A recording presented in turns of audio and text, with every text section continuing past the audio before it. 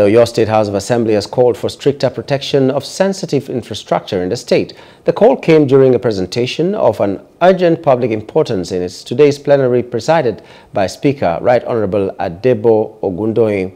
The House, while condemning the undue invasion of the government secretariat, particularly the House of Assembly complex last Saturday, a lawmaker representing Oluyole State constituency, Wahid Akintayo, noted that media stations within the state, especially the public media houses in the state, needed to be protected against cheap invasion of suspected Yoruba nation agitators in the nearest future.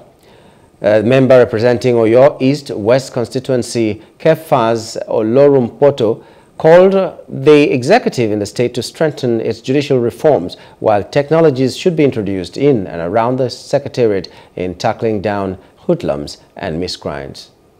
I want to say that um, we should have, we should work on our legal reforms, or strength, work on strengthening our legal reforms, such that uh, the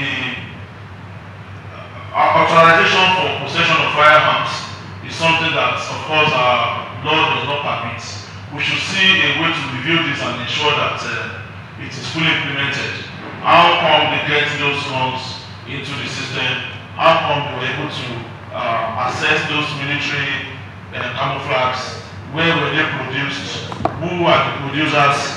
So all those things, we need to ask questions in that regard. That's the reason I'm calling on the executive arm of government through this honorable house, the security operatives to make sure that they provide adequate security at the government uh, media stations, especially NTA, um, uh, BCOS, Radio Nigeria, and um, by extension Amuludu FM, the one at Monia.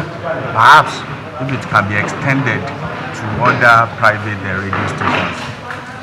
Didn't be those people uh, I didn't be the thought of going to radio station or going to business. They force themselves into the studio and make some announcement.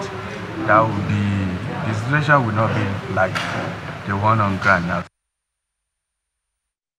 Hello, hope you enjoyed the news. Please do subscribe to our YouTube channel and don't forget to hit the notification button so you get notified about fresh news updates.